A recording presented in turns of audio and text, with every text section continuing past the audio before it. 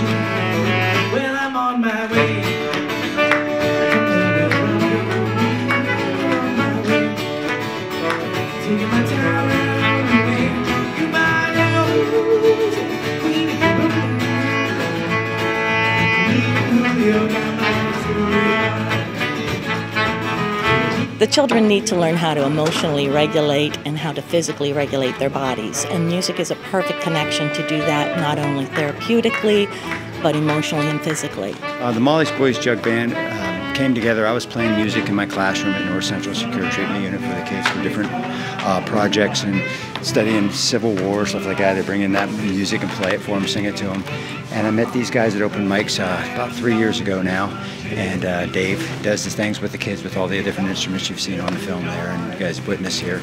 And Alan, I knew locally. He, I played with him at open mics, so I brought him into the school, and that's where our first um, thing was. Yeah, it all sort of evolved over years. I played with a group called Sadie Green Sales, and we did kids shows. And so we didn't even know we could do kids shows.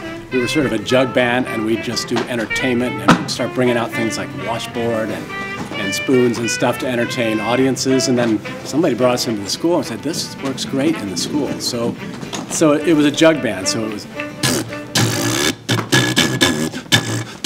you know, you blow across a bottle, your lips make make the sound. And I made a, a little plastic kazoo out of PVC pipe. And you know, kids, they, uh, funny sounds, they just love it. I like to, I listen to sounds and I try to make something that works with the sound even stretching strings across a, a, tin plate and stuff. We made a couple of things like that, and it just evolved into kind of a fun thing. And I think the I think the kids kids get a lot out of it. I love it when, when I when I play the, the turkey baser and I shoot the water out the top, and the kids say, ah, you know.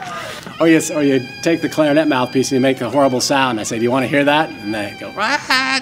Make a terrible sound, and they all they all start laughing it's good. You, you, bring them out of themselves a little bit by you shock them a little bit with some sound, and uh, and then start talking about music and rhythms and how it all works.